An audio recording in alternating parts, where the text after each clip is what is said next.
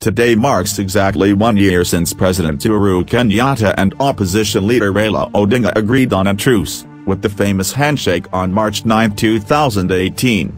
While it has pacified the country, observers have reckoned that the handshake has also come with dividends for Odinga. According to Dr. Godwin Siundu of the University of Nairobi, Odinga is no longer under pressure from his NASA co-principals to support their ticket for the 2022 poll. Additional, all the police officers attached to him who were withdrawn by the state at the height of a bitter exchange with the president in 2017 have been reinstated.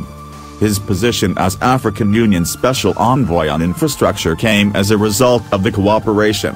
Uhuru once intimated that were it not for the handshake, the O, a club of heads of state, would not reward an opposition leader with such a high-profile slot.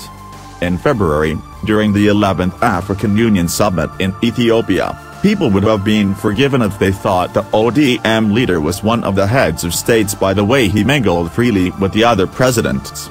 According to Dr. Siundu, Odinga, the man defined by his abrasive brand of politics, has now mellowed into more or less an appendage of the ruling party. He no longer criticizes the government, Odinga is of the view that he no longer needs to raise issues in the media since he has a direct audience with the president anytime. Before the armistice, no cabinet secretary CS would appear in public with him.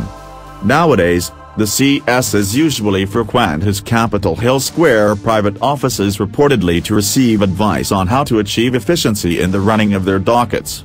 I do this as part of the effort to involve the public in government affairs.